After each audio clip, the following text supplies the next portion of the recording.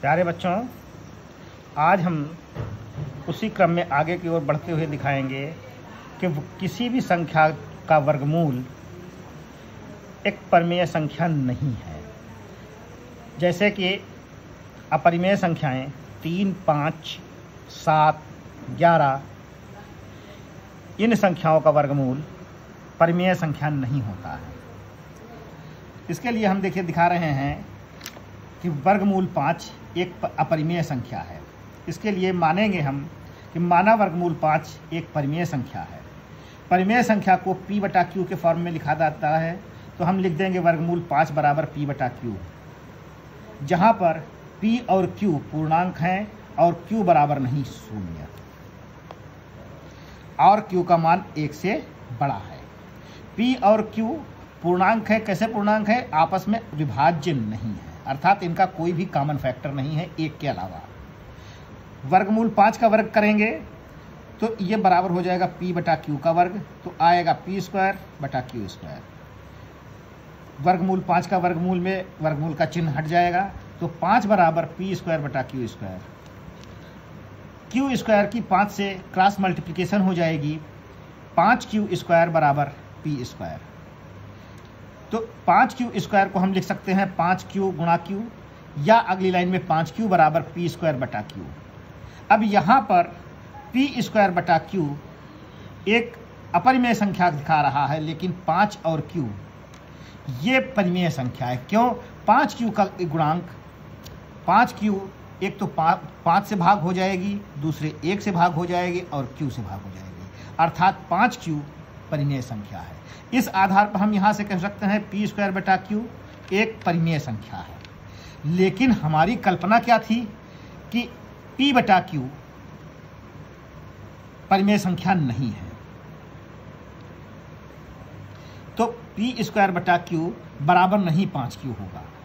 अर्थात वर्गमूल पाँच बराबर नहीं पी और क्यू। अर्थात वर्गमूल पाँच परिमेय संख्या नहीं है। अर्थात इसे पी बटा क्यू के रूप में नहीं लिखा जा सकता।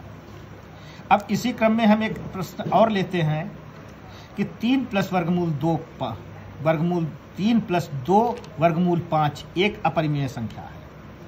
इसके लिए हम मान लेते हैं कि दी गई संख्या एक परिमेय संख्या है, अर्थात तीन प्लस दो वर्गमूल पाँच एक परिमेय संख्या है। अगर इसको परिमेय संख्या मानेंगे तो इसको भी हम x बटा वाई के रूप में लिख देंगे, जहाँ पर x और y अविभाज्य पूर्णांक हैं। अर्थात x और y आपस में एक के अलावा और किसी से भाग नहीं हो सकते, और हर y शून्य नहीं हो सकता, अर्थात y का मान एक से बड़ा होगा।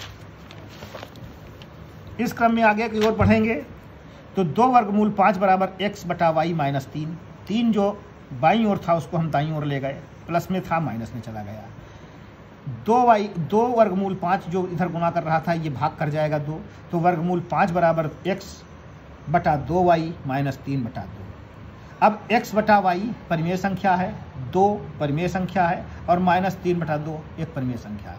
अर्थात, एक परिमेय संख्या से दूसरी परिमेय संख्या घटाई जा रही है तो ये परिमेय संख्या प्राप्त होगी।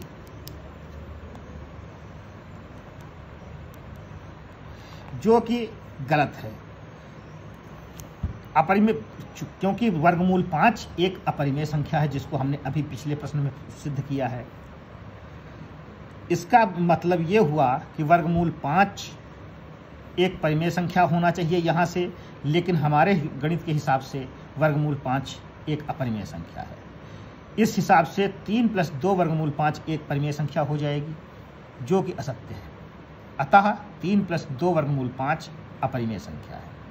इसी क्रम में हम और उदाहरण लेकर के दिखा सकते हैं कि एक बटा वर्गमूल दो परिमेय संख्या है, अपरिमेय संख्या है। सात वर्गमूल पाँच, अपरिमेय संख्या है। छः प्लस वर्गमूल दो, अपरिमेय संख्या है। ये प्रश्न कक्षा दस की एन बुक की प्रश्नावली एक दशमलव तीन में दिए हुए हैं। इन प्रश्नों को आप अभ्यास के लिए लगा करके विधिवत एक कॉपी मेंटेन कर लें और उसमें लगाएँगे इस तरीके से ये 1.3 एक्सरसाइज हमारी आज कंप्लीट हो जाती है। शेष अगली बार।